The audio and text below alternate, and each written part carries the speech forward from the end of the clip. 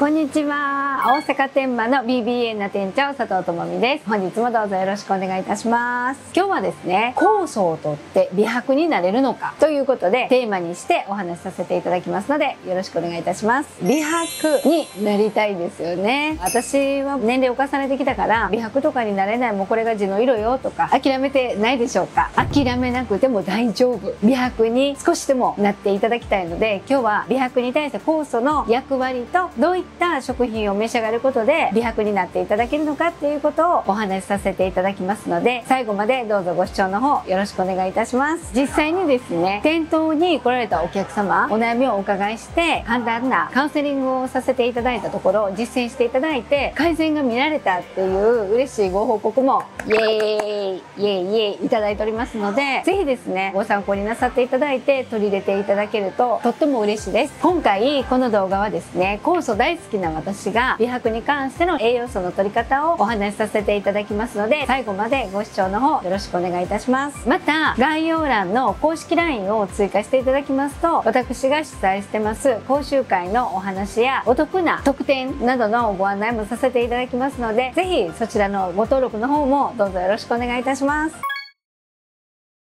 まずですね酵素の中でもナイアシンアミドって聞かれたことございますでしょ？こちらのナイアシンアミドというのは今お肌の美白に注目されていてですね例えば抗酸化力がある成分メラニンの生成を抑えてくれる成分あと肌荒れを防止してくれるであとエネルギー生成の促進であったりとか紫外線によるお肌のダメージとかを良くしてくれるナイアシンアミドにはそういった効果があります。特にですねメラニンンの生成を抑制してくれるであったりとかアンチエイジング力が高いとかですね。そういったところから美白に対して今すごくね美容業界では注目されている成分だというふうに言われています。シミとかですね日焼けとか焼けてしまうっていう原因っていうのは80%は紫外線によるダメージだというふうに言われています。紫外線っていうのは今ね100害あって一理なし。私たち子育ての時代はですね母子手帳にビタミン D を作るっていうことで日光浴をさせていますかとかいう文言が書かれていたんですけど今そういう促進はされてないようですね。お部屋の中にいても紫外線っていうのは自然の生活の中で浴びることはできるのでわざわざその日光浴で数時間も赤ちゃんを火に当てるとかっていうことをしなくても元気に育つっていうふうには言われる時代になってきたみたいですね。今はちょっと想像がつかないかもわかんないですけど暖かい日差し朝日とか体内時計を正常にするには大切なことなのでもちろん外遊びとかは大事なんですけど私たちの年齢になってくると私たちの細胞の分裂の中で紫外線を浴びることによって直接その紫外線がコラーゲン繊維とかを傷つけてしまって肌の細胞を傷つけてしまったりメラニンがたくさん作られすぎてしまってそれが蓄積されてメラニン同士がひっついて大きなシミになったりっていうことが原因でだんだんシミになったりくすみになったりっていうそういったことを抑制してくれる効果があるのがこのナイアシンアミドなんですね。ナイアシンアミドが美白にいいとかっていうのは分かったんですけど何で取れるんですか？食品ですね。そこを教えてもらえたら嬉しいですね。ナイアシンアミドが取れる食品っていうのはたくさんあるんですよ。日々の食生活で取られてるんだと思います。例えばですけどこちらにありますこの表。たくさんの種類の食材が書かれてると思うんですけどその中でも私大好きでおすすめなのが舞茸。舞茸はね炊き込みご飯でも風味がいいんですよね。めっちゃ美味しいです。うん。これからまあ秋の食材きのこ類なんかはすごくいいと思うので安定のバター醤油炒めとかですねお味噌汁に入れるとかあとマグロとか私はタラが好きなんですけどね。タラもナヤシンアミドが豊富に含まれているお魚の種類だそうです。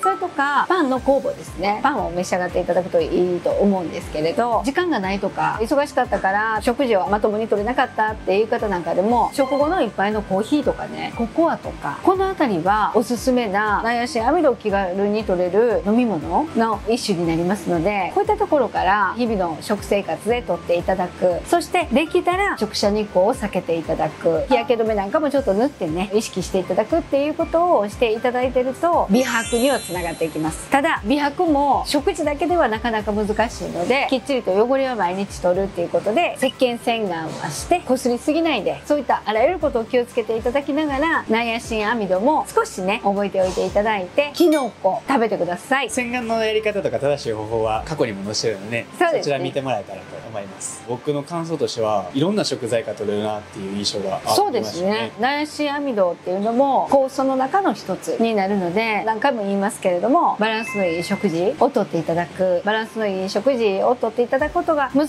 しかったらちょっといいですか？BBA の酵素本当に純粋な酵素だけのペースト状のものが新商品でできました。早速私のエステ仲間のお友達とかですね食べていただいたりご来店いただいたお客様が食べてくださって美味しかったって苦手だった酵素がこんなして取れるんだっていうので喜んでいただいてるお声を本当にいただくようになってきてます。ぜひですねなかなか食事でバランスよく取れないっていう方は小さじ1杯もないペースト状なんで毎日続けやすいと思いますんで宣伝みたいになってしまいましたけど宣伝なんです。ぜひ酵素を取ってみてください。今日は酵素と美白についてお話をさせていただきました。いかがでしたでしょうか？食材から簡単に酵素っていうのは取っていただくことができます。ただ栄養価っていうのは季節のお野菜が減ってしまってるのでだんだんね酵素を取っているつもりでも必要な量が少なかったりというのがあります。簡単にこの新商品をご説明させていただきましたけれども栄養価の一番高いところで収穫されたお野菜果物きのこ類しか使っていない素晴らしいペースト状の酵素になります。どうですか？簡単に取れますでしょ？なのでご興味お持ちの方はぜひ公式 LINE などからでもご質問ご相談メールでもお電話でも受け付けておりますのでお気軽にお寄せくださいませ。私がいつでもお答えをさせていただきたいというふうに思っております。ちなみにその美容の